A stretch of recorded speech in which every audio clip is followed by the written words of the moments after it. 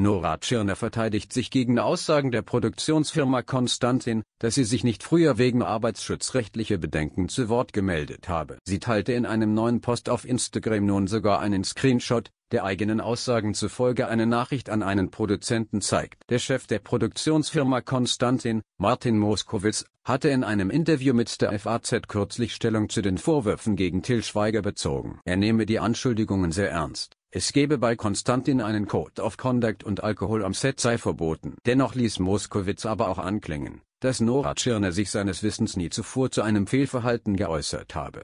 Tschirner sei in all den Jahren nie zu mir gekommen und hat gesagt, die Zustände bei der Konstantin Film sind so untragbar, dass ich hier nicht mehr arbeiten will. Sie hingegen hatte kürzlich in einem Instagram-Video behauptet, dass vieles davon, was Branchenkollegen kürzlich angesichts der Anschuldigungen gegen Till Schweiger öffentlich angesprochen hatten, tatsächlich der Wahrheit entspricht.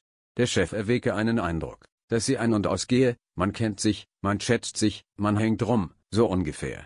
Tatsächlich habe sie in den letzten Jahren kaum Berührungspunkte mit dem Unternehmen gehabt. Erst vor kurzem seien die gemeinsamen Arbeiten wieder aufgenommen worden. Ich drehe aktuell mit der Konstantin und habe nach dem ersten Drehtag eine umfassende Nachricht an den Produzenten geschrieben und mich kritisch geäußert.